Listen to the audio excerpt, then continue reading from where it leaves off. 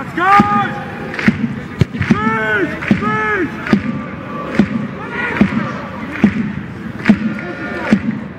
Jan Wodrze, na boisku pojawił się numer 5 Łukasz Stanik, jest numerem 22 Mateusz Banc.